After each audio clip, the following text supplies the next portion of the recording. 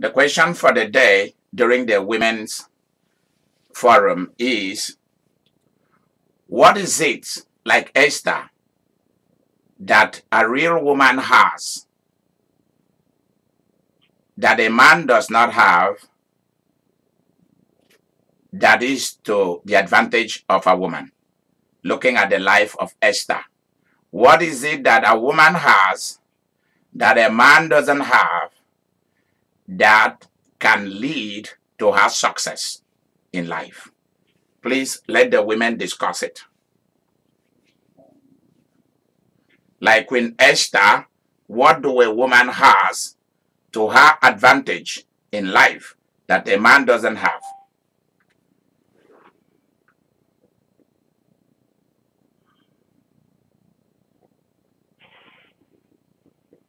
Are you referring to her instinct? Anything, her anything, anything is everything that you can see in the book of Esther.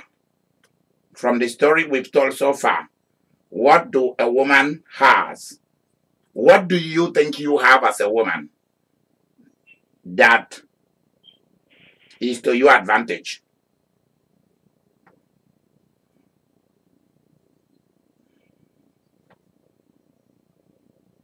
If you've been following the story so far,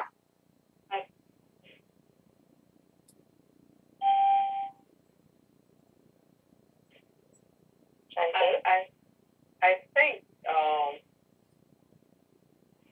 looking at the story of Esther and how she operated and how some women operate, I think she was very tactful. okay, tell tell the whole thing. Don't just give Don't just give one answer. Give tell the story. Give the story so that others can learn from you.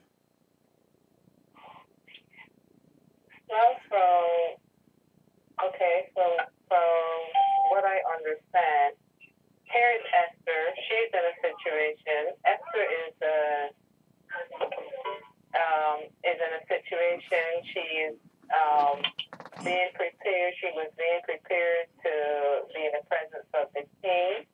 She became his wife. The whole situation with um, Mordecai um, and Haman when that um, when she was presented with that situation and uh, I call it the manipulation because um, Mordecai was really trying to play on her um, emotions as far as the decree that was sent out on the Jews and, and, and his the input that he wanted her to have because of her position. She was not hasty she thought this thing over as to how she is going to approach the king.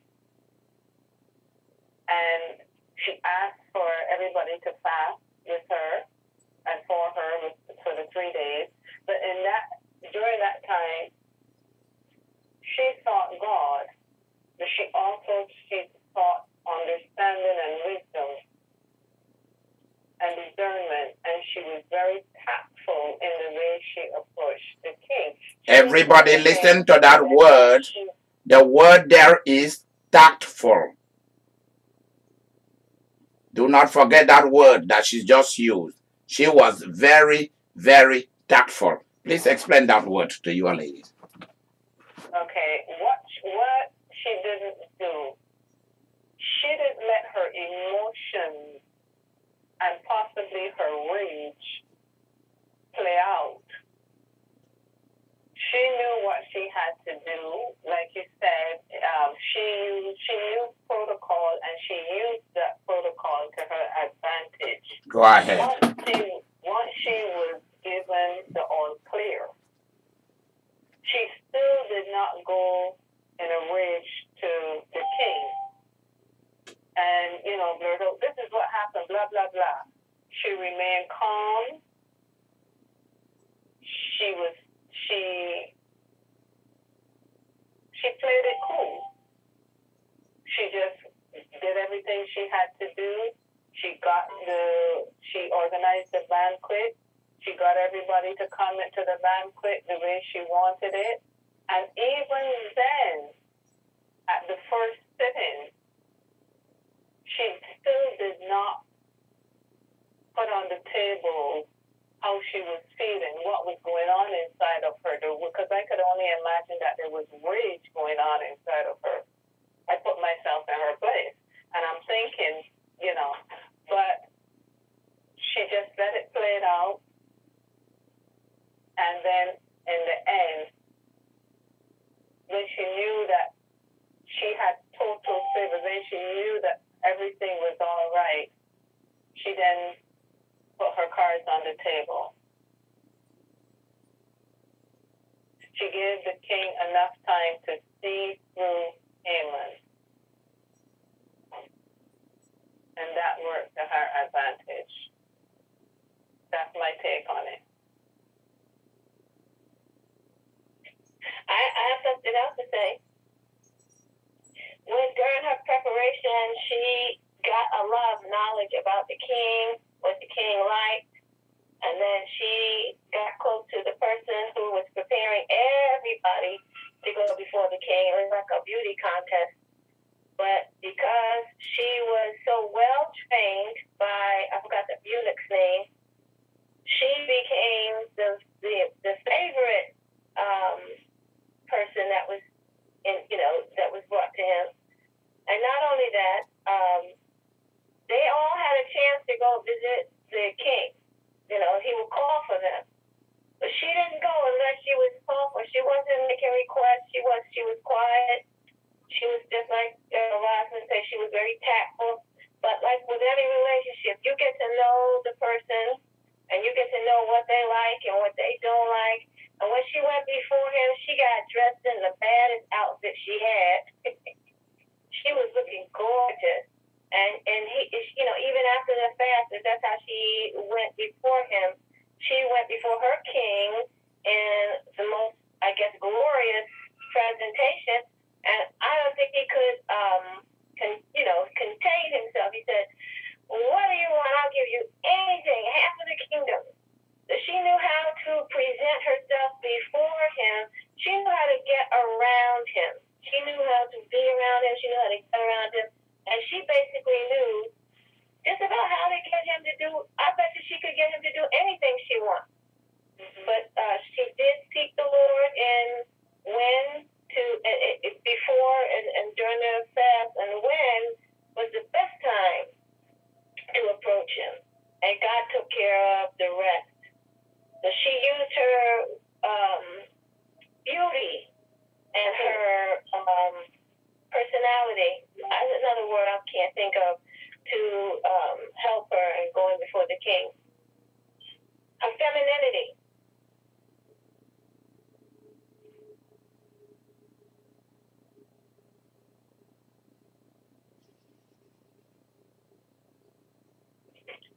You know, I'm thinking that's not the first time I've heard.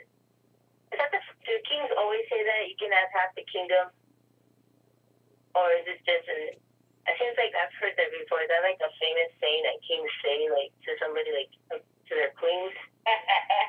Who told you that, Victoria? so I thought I've heard that in another story. Um, but I can't think of the story. Okay. Uh, I agree with you. I I've read in the Bible before, but I was just joking. You know, I was joking.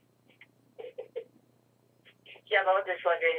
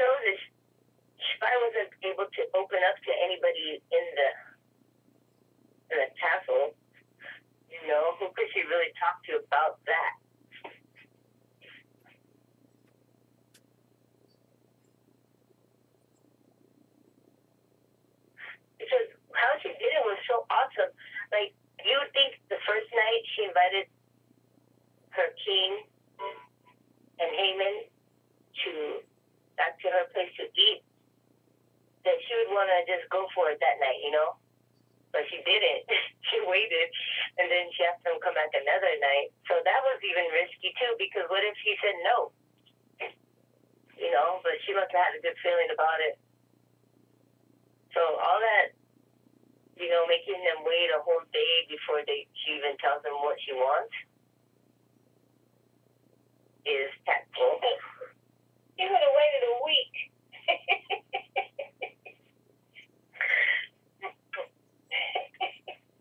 I don't think he could. I don't even think he could um, help himself.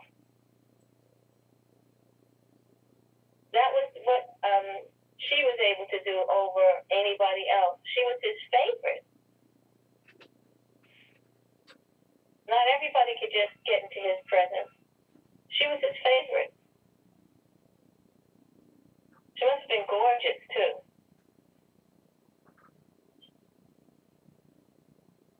I would say that he had um, a loin and, and, and attractive um, spirit. Women have that, that charming, charming spirit in them. They can dress up um, uh, whoever they want. Your input is invalid. Hello? Can you hear me? I can't hear you. Yes, um, I'm saying that uh, women have that charming spirit in them that they can use to charm uh, whoever they want uh, to, to bring the person uh, to the level they want the, the person to be. A woman has a charming spirit to bring a person to the level that the woman want to bring that person to. Yeah, them especially men, they can bring man That's what I'm to, talking about. the.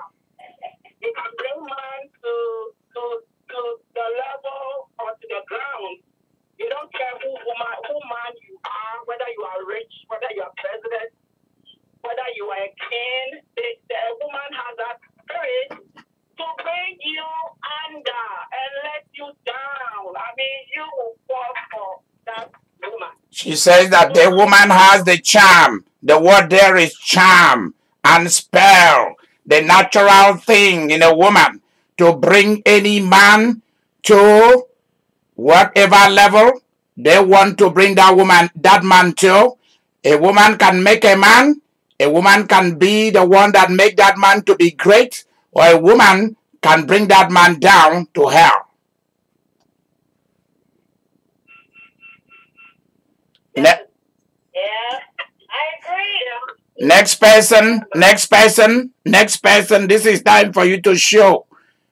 This is the woman women's forum. We want to hear from the ladies.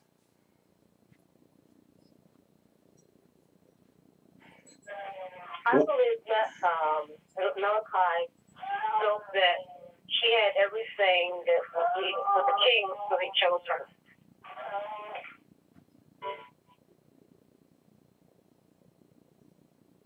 Hello? Okay, so you said that she had everything that a woman has because the king chose her, you said?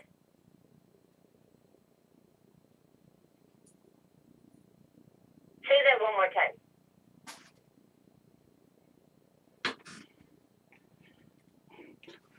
Zola, Zola, repeat what you've just said.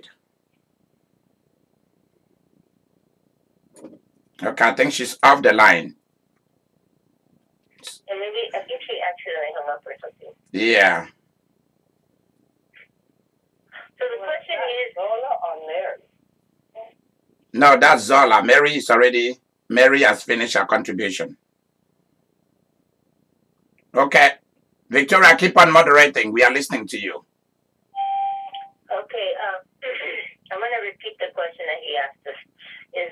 What is it that a woman has that a man doesn't have Yep. that can lead? To a woman's success.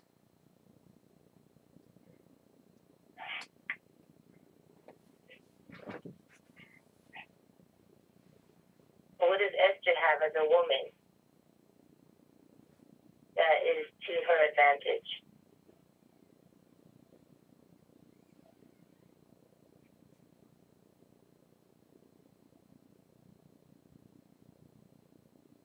Or anything else you want to talk say about Esther? Anyone before? I think that she was very sensitive and level-headed.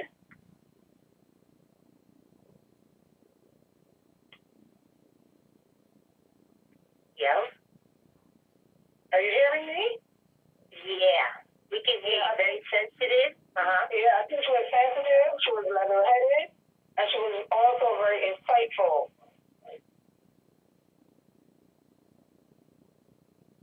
And I, I'm, I'm basing that on the fact that because of the gravity of the situation, she understood deeply what needed to be done.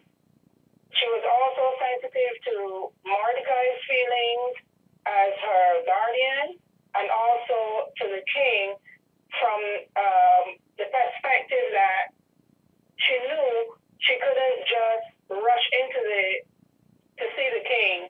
She had to wait, and there were things she needed to do, you know, before she could get to him. So I think that was um, an area of sensitivity too.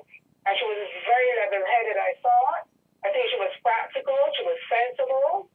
She was realistic, and she was wise. And she was also very confident. And she knew what to do to gain God's favor and also that of the king um, by calling a fast, because she know that only God, because of the situation, he was the only one really working through the king, and you know, with all she did to be able to deliver her people. That's my take.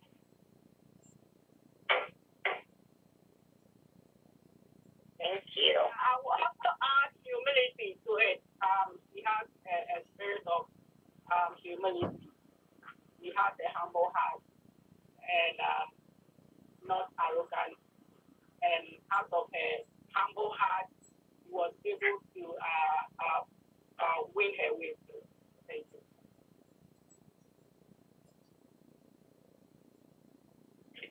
Well, also, you know, the king is he just was with Vashti before, so he's used to her. And so when Esther, the way she's doing things, he's probably looking at her like, "Whoa, you're way different than Vashti," and there's just something about you that is just wonderful. You're full of respect and honor, and, and so that was probably very hypnotizing for him. He just loved it. Right? Because Vashti was rude. I figured she had, she didn't have any respect for the king. That's why she got kicked out of there.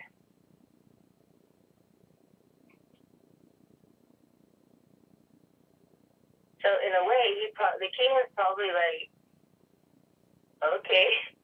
like Pro said, like, okay, like you want me to come back tomorrow and you're gonna tell me, all right, I come back, no problem.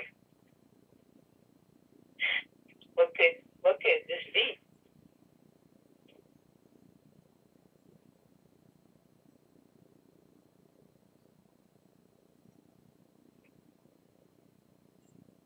Besides looks, I mean, we don't we don't pass a whole figure. She's a very beautiful.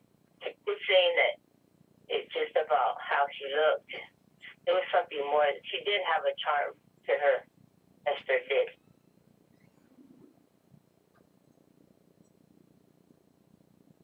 And you know, she got to know him. She knew a lot about him. She knew his his um, personality. You know, um, you're with somebody, you get to know, uh, you know, a lot about them. You can get, you know, before you pray about it. You know, e- even if you're not so beautiful anymore. when I was younger, I could just speak and it was done. but now it's a little different. But when you know somebody very, very well, you know, you fix them what they like to eat, you fix them their favorite food, you go, you do something, you put on, if they tell you they like what you have, you put on their favorite perfume, you put yourself in a way, they're going to be receptive uh, from you one way or the other. They're going to listen to you, whether it's something they particularly want to hear or not. So she already knew a whole lot about him.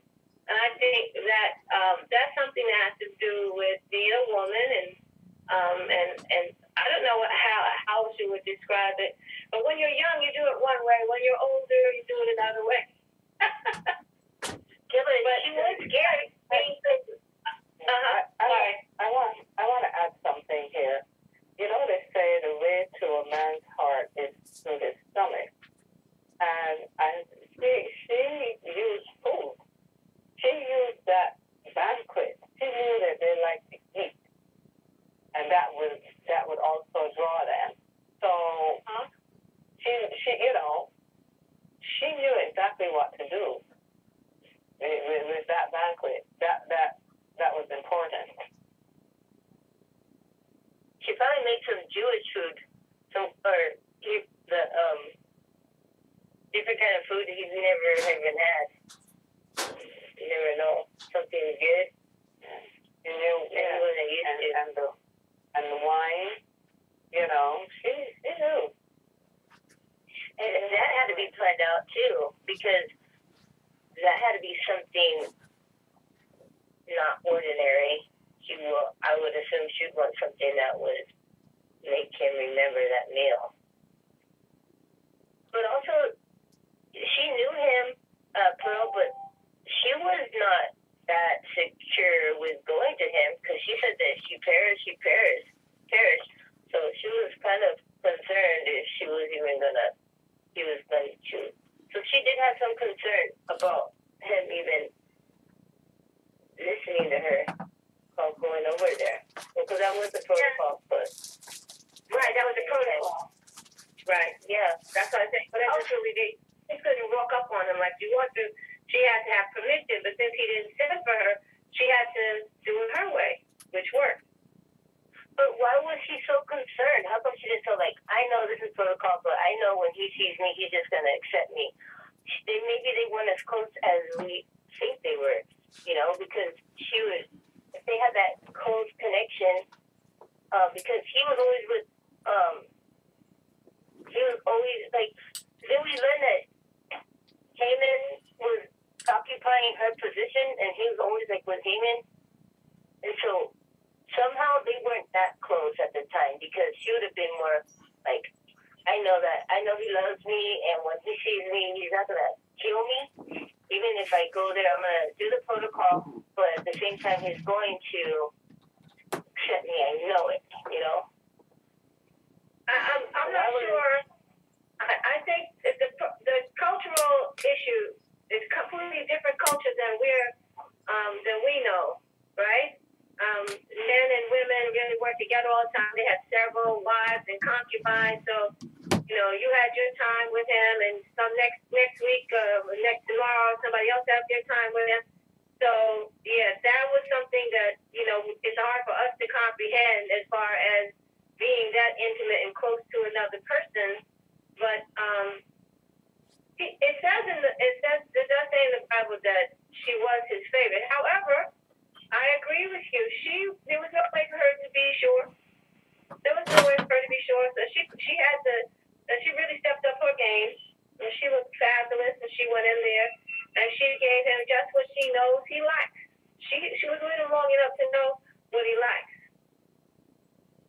And remember that somebody prepared her to know the king. Remember, she asked Right. questions. So right, it was, the yeah, the eunuch prepared her for that role. Others, others did not ask questions. How do I please this man? Esther did. You think she confided in the eunuch that we don't know about? Or you can you you bait that idea? you bait that Esther is not going to do anything without the person that trained that trained her.